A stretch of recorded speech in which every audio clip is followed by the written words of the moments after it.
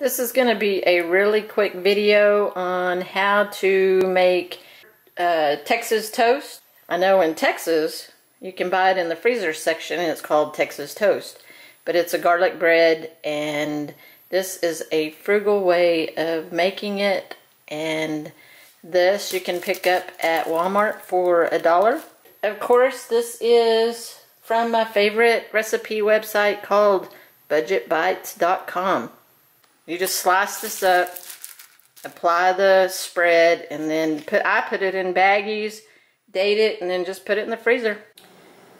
So the recipe calls for one stick of butter, and you want to leave that butter out for a little bit so it will be easier to, to mix with olive oil, be able to spread it onto the bread.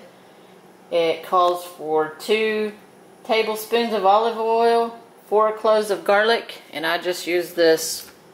I don't have any fresh garlic, so I'm going to use this in the jar. And salt, some dried parsley flakes, and it is called homemade freezer garlic bread.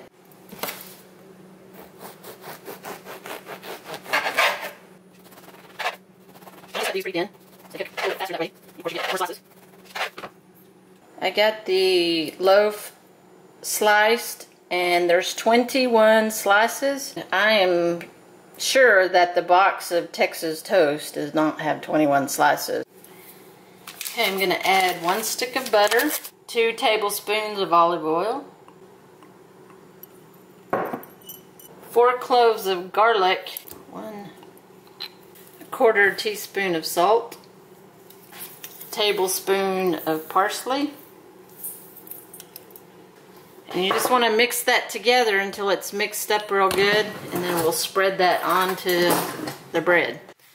Okay, I've got this all stirred up. So now I'm going to just take a slice of bread and put the garlic mixture on there and then so I just put a little bit of the butter garlic mixture on one side. No need to buy the expensive stuff already made.